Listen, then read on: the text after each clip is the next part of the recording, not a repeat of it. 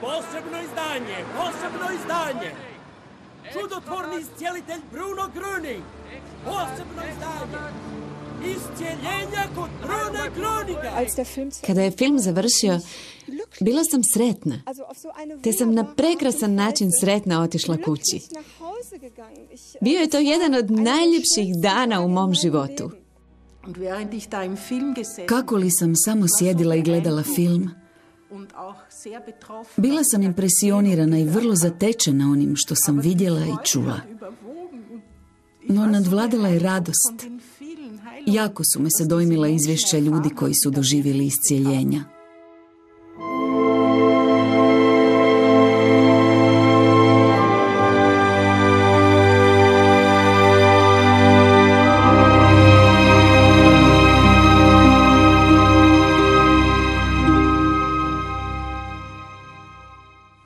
Es war so, dass wir den Film nach neun Jahren Produktion Nakon devet godina napokon smo završili filmsku produkciju. Osim mnogobrojnih svjedoka tijekom vremena, u film su uključeni i podaci iz arhive. Snimljeno je više od 80 svjedoka, što predstavlja izniman fundus.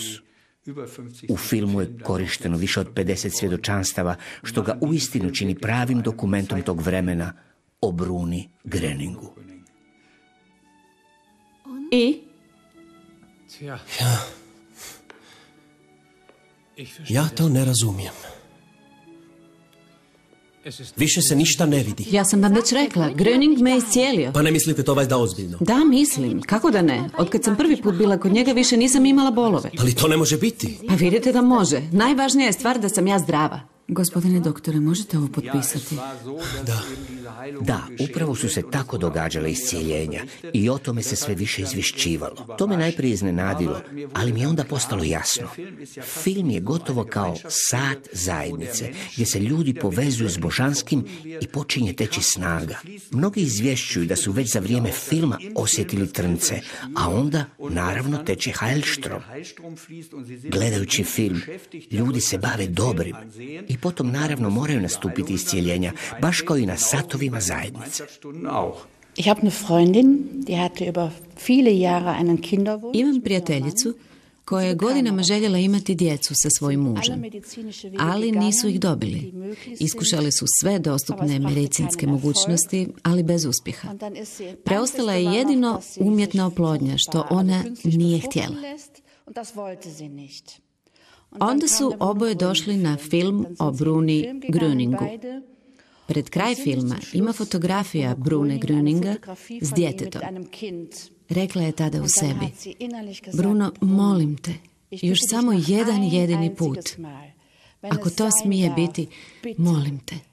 Tako bi željela zatrudnjeti.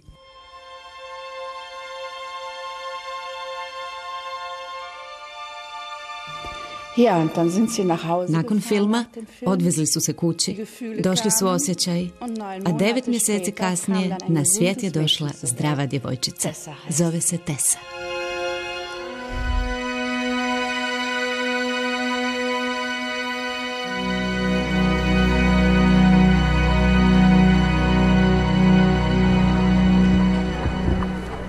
Also im Jahr 2002 2002. godine u krug prijatelja prva je došla moja majka preko moje tetke. Ubrzo nakon toga uvedeni su moj otac i moj brat, te moja šurjakinja. Moj brat je doživio iscijeljenje od astme, a ja, nevjerni Toma, samo sam promatrao.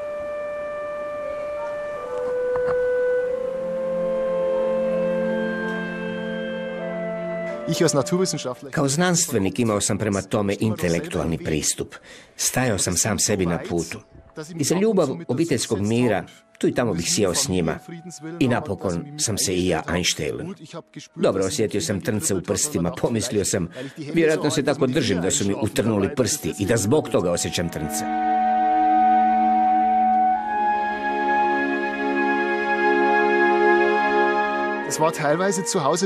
Djelomično je kod kuće stvarno bilo ovako. Obitelj počne pričati o krugu prijatelja, a ja bježeći napustim sobu jer to nisam mogao slušati. Moja mi je majka uvijek iznova govorila te pokušavala i pokušavala osloboditi me predrasuda. Ali tada mi to jednostavno nije bilo suđeno. 2004. godine u Nürnbergu se prikazivao dokumentarni film. Majka mi je tada rekla, ti radiš blizu Nürnberga, tamo stanuješ, idemo svi zajedno na taj film. Naravno nisam mogao reći ne. Zatim smo zajedno otišli na film koji me dirnuo od samog početka. Cijela priča o Bruni, mnoga, mnoga isceljenja koje su se tamo čula, potpuno su mi ušla u srce. A na kraju trećega dijela, sjećam se, još sam sjedio tamo unutra, osjetio sam neku toplinu u tijelu, pravu vrućinu. Na kraju sam imao osjećaj kao da su se na mojim rukama mogla pržiti jaja, toliko mi je bilo vruće. I tada sam znao, sjajno, to je to, pridruži se, sve predrasude zaboravi. Idem i ja u krug prijatelja. Tada me mogla uvesti čak i moja majka koja je već bila voditeljica zajednice.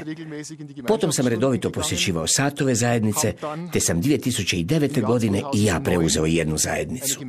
Nedugo zatim doživio sam iscijeljenje od peludne hunjavice.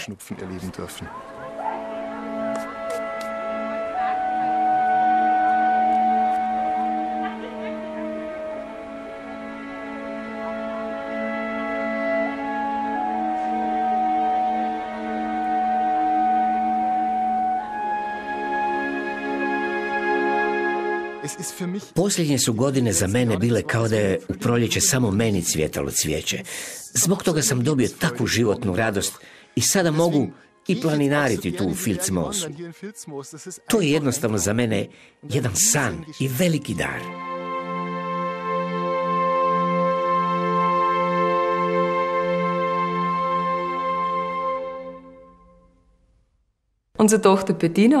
Naša je kći Betina od djetinstva imala neurodermitis. Bili smo kod e, različitih liječnika. Uvijek je dobivala samo masti. Promijenili smo prehranu. Došlo je do nekog olakšanja, ali te tegobe nije nestalo. Potom je sa 17 godina došla u krug prijatelja. Nekoliko mjeseci poslije se prikazivao dokumentarni film, te sam je pozvala da dođe. Ona je, naime, imala želju osloboditi se ovih tegoba. Nakon prvog dijela dokumentarnog filma imala je reakciju na oba dlana. Bila su jako crvena. Primjetno su nabrekli i zastrašujuće su je svrbjeli. Došla je do mene i rekla, mama vidi što se događa. A ja sam joj rekla, to je jednostavno reakcija, a sada vjeruj da će sve biti dobro. Na kraju filma sve je to nestalo. Cijeli osip je nestao, svrbeć također. Koža je bila još uvijek malo napeta, ali se moja kći jednostavno osjećala slobodnom, jer su njezine tegobe nestale. Tada je imala 18 godina. Prije tri godine je oslobođena od neurodermitisa, koji se od tada više nije pojavio.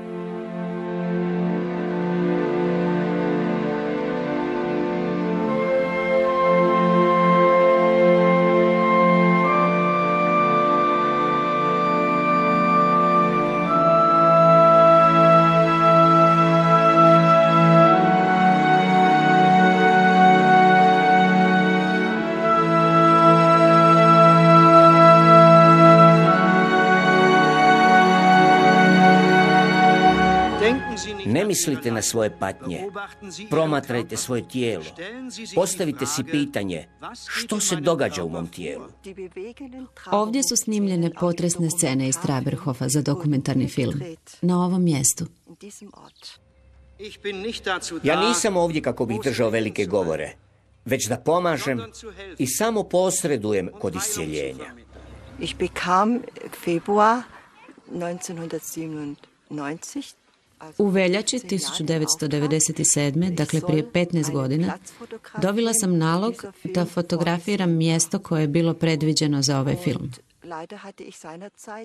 Nažalost, u to vrijeme nisam imala fotoaparat, te sam razmišljala gdje bih sada dobila film.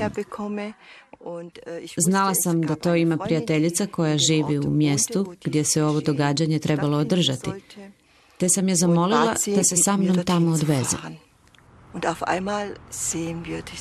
Odjednom smo pred sobom ugledale tu kuću. Das kam so plötzlich. Das, das war auf einmal to mjesto i ta zgrada tako su bili nalik na Traberhof da sam rekla tu moramo doći snimati. To je pravo mjesto. Prijatelji su došli sa svih strana, iz Hamburga, Švedske, Švicarske, Austrije. Došli su od asvud, autobusima. Nije im bilo teško doći iz daleka da bi sudjelovali. A pjesma Veliki Bože, hvalimo te, bila je tako snažna. Osjećalo se toliko puno snage kada je tri tisuće prijatelja pjevalo tu pjesmu. I otpjevali su je ne samo jednom. Stalno su je ponavljali. Tu je bio i neki zanos. Tu je bila posebna snaga. To se ne može opisati. Bilo je tako lijepo. To se iskustvo ne može prepričati. I kad danas gledam film, još uvijek imam isti osjećaj kao tada kad se pjevala ta pjesma.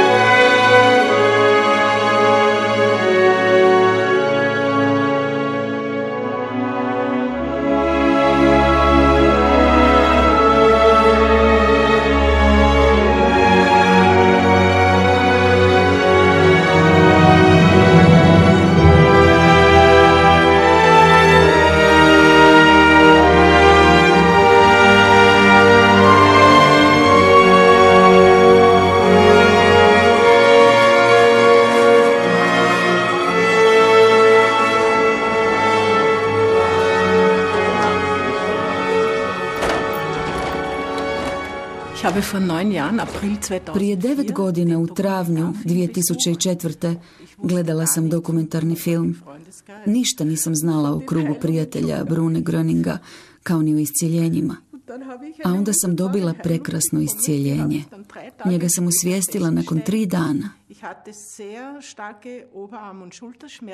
Punih osam godina imala sam vrlo jake bolove u nadlaktici i ramenu. Posljednje dvije godine bilo je toliko loše da nisam mogla pomaknuti ruku. Mogla sam je samo tako držati.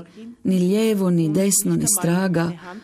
Nisam uopće mogla nositi torbicu. Moj je cijeli život stoga bio vrlo ograničen. Bila mi je već potrebna pomoć u kući i u svim mogućim područjima. Više nisam mogla u ruku uzeti ni čašu ili neki drugi predmet. Pri tome sam koristila uvijek lijevu ruku, te sam morala uvijek pokretati cijelo tijelo kad bih posezala za nečim. Ponekad sam čak morala podupirati ruku prilikom jela kako bih mogla staviti žlicu u usta. Tri dana nakon te večeri posegnem za čašom vode i kad sam čašu vraćala na mjesto primijetim da mogu pomicati desnu ruku, a da se ne pomažem lijevom. Tada sam to učinila još dva puta. A onda sam rekla svom mužu, gledaj Hans, mogu micati ruku. Odmah je rekao, ženo, dobila si iscijeljenje. Bila sam kao paralizirana. Nisam mogla govoriti, ništa reći. A on će tada, reci nešto, nešto reci, raduj se. Tada se utopila ova radosna ukočenost, kako je ja nazivam, te sam rekla, hvala dragi Bože, hvala dragi Bruno. Odmah sam to mogla prihvatiti i osvijestiti da se radi o iscijeljenju.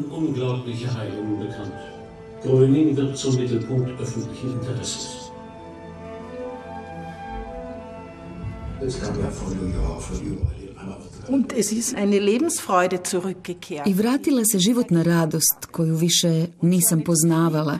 Zadovoljstvo se uvuklo u moje srce. Bila sam do tada samo ljuta i tužna jer to više nije bio život. To su bili još samo zadani rokovi. U ponedjeljak sam se već plašila kako ću provesti cijeli tjedan na poslu. Živjela sam još samo u strahu. Onda je odjednom sve nestalo i to već traje devet godina. Sve je isto kao onda, tri dana nakon iscijeljenja, kad sam ga osvijestila. Radim sve u vrtu, kopam, nosim veliki sanduk drva u kuću, a moram dosta daleko ići od drvarnice do kuće. Kad zgrabim sanduk i idem, uvijek kažem hvala ti, dragi Bruno, hvala. Pri tome sam tako sretna. Cijepam drva jer još uvijek u kući ložimo prekrasnu kaljevu peć. Tu stojim dva sata i cijepam drva i cijepam. Nisam umorna i ne boli me ništa. Tako sam puna energije i radosti. Svaki dan zahvaljujem što sam smjela upoznati ovo učenje.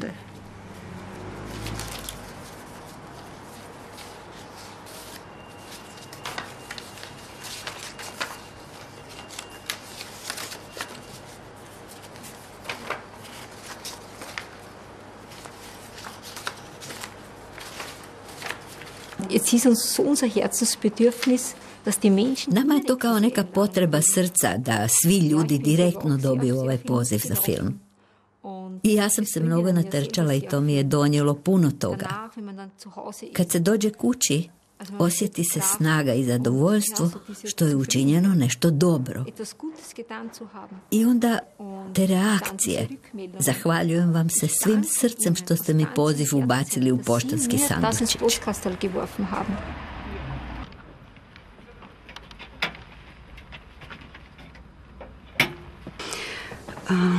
Ich habe einen Flair bei mir im Briefkasten gefunden. U svom poštanskom sandučiću pronašla sam letak. I onda sam otišla na dokumentarni film o Bruni Gröningu. U to vrijeme imala sam vrlo jaku migrenu i kronične bolove u leđima. I to je sve trajalo 30 godina. Chronische Rückenschmerzen. Ja, und wo hat dieser Film angefangen? Kada je počeo ovaj film, zaboravila sam na sve. Bila sam tako duboko povezana s Brunom. So tief verbunden. Ich habe auch gelitten innerlich. Unutrini sam patila i pomislila sam to nešto strašno dogodilo se na ovoj našoj zemlji. Dođe tako od Boga Oca čovjek koji želi pomoći svim ljudima, a on to ne smije činiti.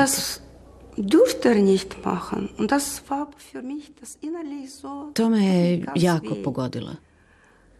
Zaboravila sam sve svoje bolove.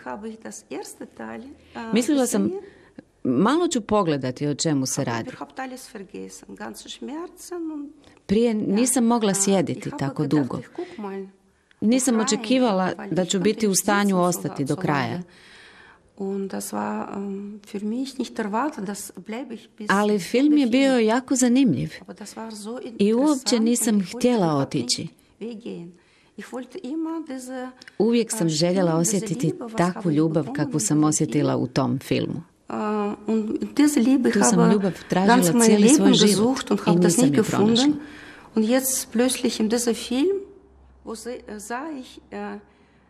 I sada, kada sam odjednom vidjela na filmu te oči, osjetila sam tu ljubav.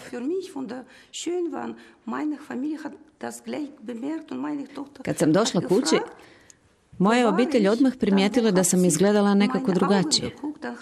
Moja kći me pitala, gdje si bila? Kada je pogledala u moje oči, upitala me, Mama, jesi li se zaljubila? To je tako slatko. Nikad to neću zaboraviti. Tu sam noć prespavala prvi put u cijelosti bez bolova i lijekova. Nisam trebala ništa. Ovo iscijeljenje traje već sedam godina. Sve je nestalo nakon više od 30 godina migrene i jakih bolova u leđima ungefähr 30 Jahre starke Rückenschmerzen.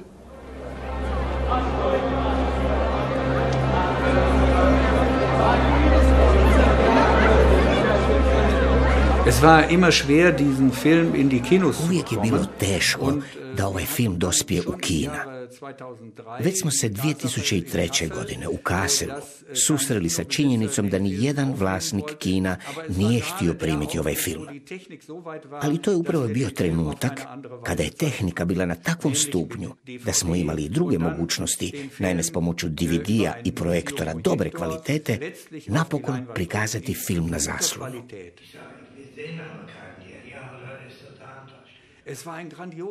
Bio je to nevjerojatan uspjeh. Došlo je puno ljudi i u vrijeme stanke o njima se dobro vodila briga. Izvještavano je o mnogim iscijeljenjima kao rijetko prije toga. Bilo ih je puno i to u vrlo kratkom roku. Mislim da je bilo šest iscijeljenja tijekom dvije ili tri predstave, gdje su se ljudi uistinu oslobodili dugogodišnjih tegoba. S novom smo tehnikom imali naravno sasvim novu mogućnost svijetu predstaviti ovaj film. Odjednom naše filmske kazete nisu više težile 90 kg, već su pale na svega 90 grama. Mogli smo imati tisuću filmova za istu težinu stare tehnike prikazivanja.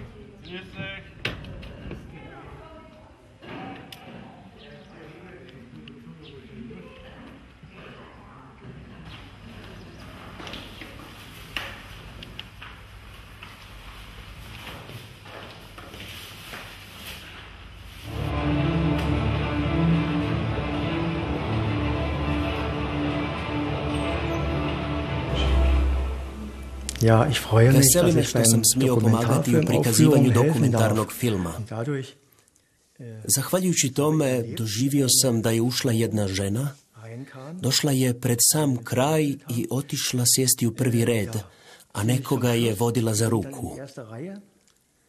Pomislio sam, ovo bi mogle biti majka i kći. habe ich gedacht, das könnte Mutter und Tochter sein. Die Tochter war vielleicht 50 Kći je možda imala alt. 50 godina. I kao što je to uobičajeno, na kraju je filma postavljeno pitanje je li netko nešto osjetio. Nitko se nije htio javiti. Tada je kći rekla, ali mama, ti možeš podignuti svoju ruku što prije uopće nisi mogla. To je bilo fantastično. Bio sam tako sretan. Ma svi su bili sretni zbog toga. Ja, und so I već se veselim sljedećem prikazivanju filma na kojem ću smjeti pomagati. Ja, also es war so, dass ich aufgrund massiver Panikattacken Zbog velikih paničnih i srčanih napadaja imala sam osjećaj da bih mogla umrijeti. Osjećaj je bio jak i pratio me danima više od tri mjeseca. Zbog ovog stanja nisam izlazila van. Trajalo je od jutra do večeri, a noću je postajalo još gore, jer mi je srce funkcioniralo na neprirodan način, te sam stoga jednostavno bila u, u velikom strahu da ću umrijeti. Und meine Tochter, die war 14 Jahre zu dem Zeitpunkt. Moja kći je u to vrijeme imala 14 godina. Bila sam razvedena i živjela sam samo s njom. äh, Možete zamisliti što ovaj strah predstavlja na emocionalnom planu. Što će se dogoditi s mojim djetetom? Sve misli bile su povezane s tim. A onda sam u listopadu otišla pogledati film. Bila sam usredotočena na njega. Film me se jako dojmio. Prikovao me, očarao moje srce i dušu, tako da sam stvarno zaboravila na sve što se događalo oko mene. Um Osjetila sam jaku snagu u sebi. Imala sam bolove u prsima koji su se proširili u lijevu ruku sve do prstiju. Kada je završio film, bila sam sretna i na jedan sam prekrasan način nasmijana otišla kući. To je bio jedan od najljepših dana u mom životu. Sve je nestalo, napadi panike i sve loše što sam proživljavala tri mjeseca od tog dana su potpuno nestali. Na tome sam beskrajno zahvalna. Shvatila sam da je to ono što sam od uvijek tražila. Bila sam oduševljena i htjela sam oduševiti svoju obitelj. To nije uspjelo. Došlo je izravno do otpora zbog malog prkosa mog sina, moje nevjeste i mog velikog unuka. Bilo je malo i podsmihivanja. A 2005. godine došao je film u Frankfurt na Odri. U gradu je film trebao biti prikazan 5. prosinca i budući da mi je rođendan u prosincu, sjetila sam se da to izaberem kao rođendansku želju. Sjedili smo udobno kod kuće i djeca su bila uz mene. Tada sam ih zapitala, imate li već nešto za mene za moj rođendan? Ne. A što bi ti željela? Rekla sam, imam samo jednu želju, da pogledate ovaj film. Nisu bili oduševljeni, ali su ga otišli pogledati. Moj muž nije otišao, ali moj sin, nevjesta i unuk jesu. Kod projekcije filma bio je i stol s knjigama. Stajala sam za stolom s knjigama i tijekom prve stanke prišla mi je nevjesta i ispričala mi se. To je za mene bilo nešto veliko, jer se ona prije tome pomalo podsmihivala. E, nakon filma, kada je kod kuće došlo do rasprave, moj muž je rekao nešto protiv, a moj sin odmah reagirao, tata, prestani, to je mamin put i ona ide njime. Od tada je sve u redu u mojoj obitelji. Više nema nikakvog otpora.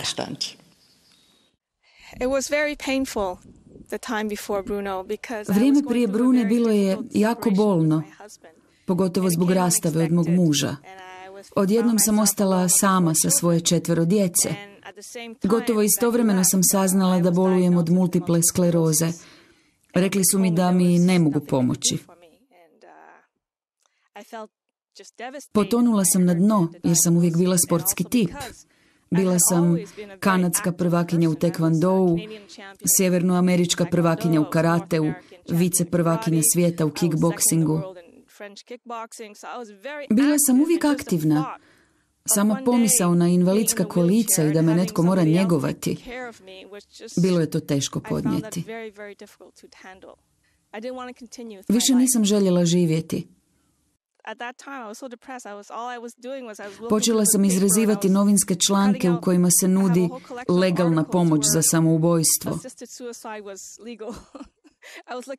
Tražila sam neki izlaz iz ovog života. Nisam htjela da se obitelj ili djeca brinu o meni. Nisam htjela da itko vidi kako postajem sve slabija. Uh, Bila sam bez nade, dok mi jedan prijatelj nije ispričao o dokumentarnom filmu.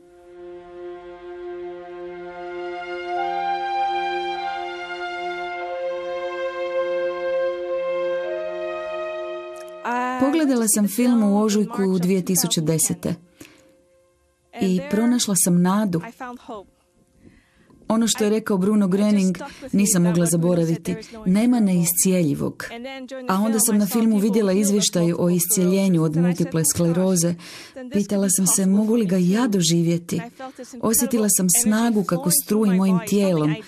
Bilo je to nešto što prije nikada nisam osjetila. I ta velika ljubav Brune Greninga.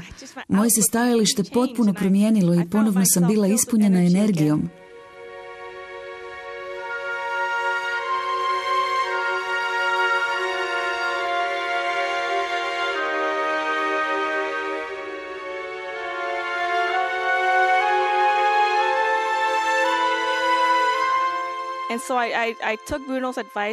Pratila sam Brunin savjet i slušala svoje tijelo, a mjesec dana poslije potpuno sam odbacila lijekove, suprotno preporukama svog liječnika. Kad su me testirali devet mjeseci poslije, moj rezultat je bio 106%. Postala sam jača uz pomoć Brune i bez lijekova. Terapeuti su rekli da je vrlo neobično da pacijent povrati svoju snagu. Sve vrijednosti su se poboljšale. Godišnje se testiram, a one su još uvijek kao i prije na 106%. Radim ponovno sve što mi pričinjava zadovoljstvo. Jašem, bavim se kickboksom, trčim i sama se brinem za svoje četvero djece. Moj život je pun energije i radosti. Postala sam voditeljica zajednice jer sam molila Brunu. Molim te, pomozi mi da se mogu brinuti za svoje četvero djece, a za uzvrat ja bih pomagala drugima uz tvoju podršku.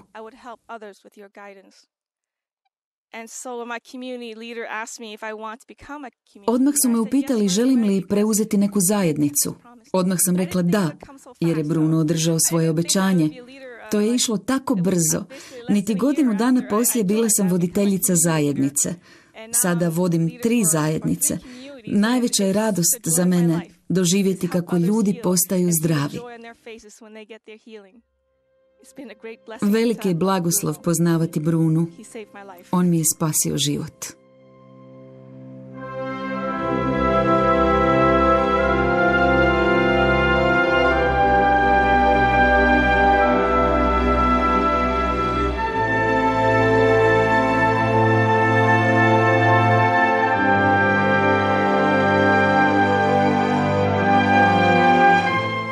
Für mich ist der Film ja etwas ganz, ganz Großes. Za mene je taj film nešto vrlo, vrlo veliko. U konačnici jedna božanska pomoć čovječanstvu koja pomaže da se ljudi vrate božanskom, da ponovno osvijeste što je sve moguće Bogu i da se tome otvore, da to ugrade u vlastiti život. To im daje priliku da ponovno steknu vjeru.